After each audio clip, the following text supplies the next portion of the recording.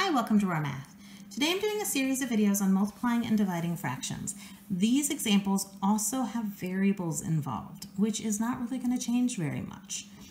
The steps are the same. When you're multiplying fractions, you're multiplying anything in the numerator and multiplying anything in the denominator. You do those multiplications separately.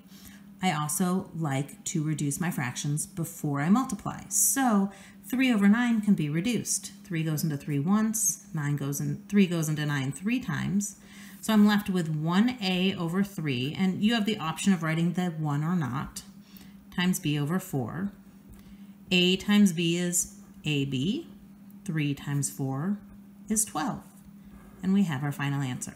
Sometimes I think the variables make it easier because you don't have to think about as hard about how to reduce them because the only thing that can reduce a variable is that exact same variable.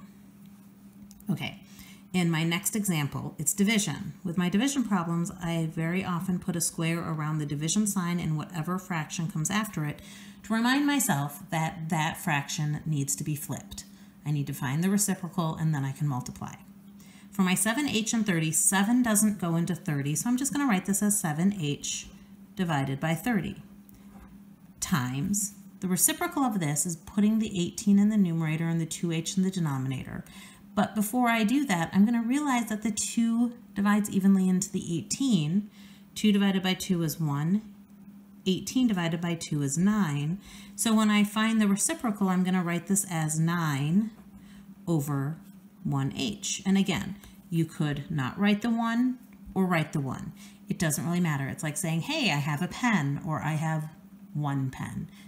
It is exactly the same in English. It is exactly the same in math. Okay, now the thing about variables, just like numbers, if the same thing appears in the numerator and denominator, they cancel by divi dividing.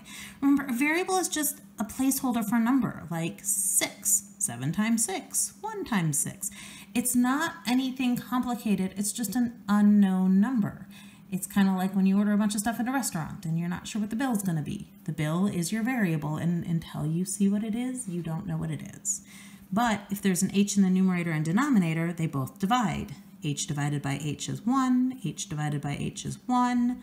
And now we have in the numerator 7 times 1 times 9, that's 63.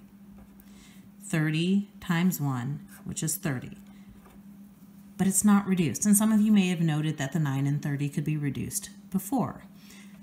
It's always good to double check at the end. So when we do a lot of stuff with variables, sometimes we get all of the clutter out of the way by just doing the multiplication and then reducing. If I divide a 30 out of numerator and denominator, I'm going to end up with 21 over 10. Now to me, 21 over 10 is a great answer. I like my fractions reduced and improper. There are a lot of math teachers out there who would write, like you to write as a mixed number. If that's the case, you need to take 10 and divide it into 21. 10 goes into 20 twice. 2 times 10 is 20, subtract, remainder of 1. So you would write 2 and 1 tenth.